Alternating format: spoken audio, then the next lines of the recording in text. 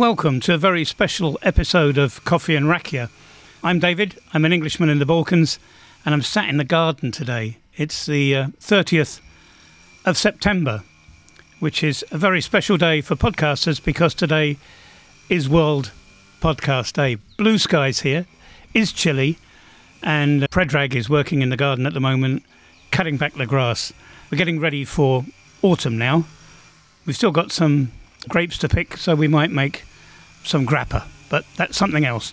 But today is a day when podcasters across the globe share their stories, their voices, and their experiences. And I'm here as a 71 year old Brit living in a rural village in northern Bosnia and Herzegovina, adding my little corner of the world to this global celebration. Podcasting has changed a lot over the years, and in some ways, it's shaped how I share my journey of living abroad, discovering new cultures, and navigating life after 70. It's an incredible medium, giving voices to people like me who maybe wouldn't have a platform otherwise.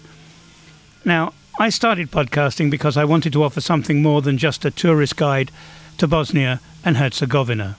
Sure, it's a beautiful country with breathtaking landscapes, rich history, and incredible food, but that's only part of the story. Through Coffee and Rakija, I get to dig deeper. I get to share the everyday life of living in the Balkans as a foreigner, with all its quirks, surprises, and most importantly, connections that come with it.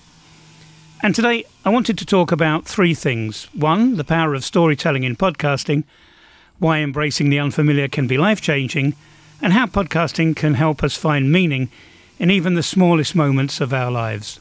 My podcast is a lot like my life. It's a collection of moments, some big, like moving to Bosnia over 22 years ago, and others smaller, like the morning routine of walking around uh, the village, waking up with the sound of the church bells, and also watching my neighbours going about their day. This is a very rural area. These moments come together to form stories, and I think that's what podcasting for me is all about. It's about storytelling. Whether you're telling stories from a busy city or a remote village like this, or whether you've got millions of listeners or just a few, podcasting gives us the space to connect through stories. One of my favourite things to do on the podcast, on my podcast, is to introduce listeners to the rich cultural heritage of Bosnia and Herzegovina from street art in Banja Luka to the taste of cevap in Sarajevo or the tranquility of driving across the Krajina region. But beyond that, I like to explore what it means to live here as someone who wasn't born here. The language barriers, the cultural differences, the moments of confusion that give way to understanding. Trust me, it's all part of the adventure. It hasn't always been easy. Living in a different culture for all these years, and now especially at my age, can sometimes feel like I'm walking on unfamiliar ground. But that's also what makes it exciting. And through podcasting, I found a way to share this adventure with others who may feel like they are walking in unfamiliar places too, whether it's in their personal lives, their careers, or physical spaces. Now, if you've been following Coffee and Rakija recently, you'll know that I've started shifting more towards narrative style episodes, exploring life here in a bit more depth.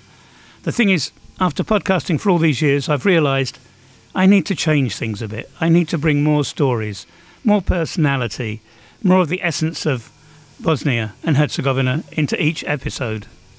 This change, what's the word these days? Yeah, this pivot has brought me even closer to my listeners, and I'm incredibly grateful for that.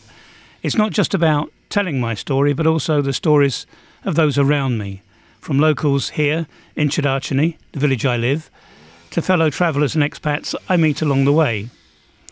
Now, before I wrap up, I want to leave you with one final thought. Podcasting has given me a new lens through which I view the world, and at 71 I've seen a lot, trust me. But the beauty of podcasting is that it allows me to keep learning, keep growing, and keep sharing, and that's something I think we should all embrace, no matter where we are in our lives.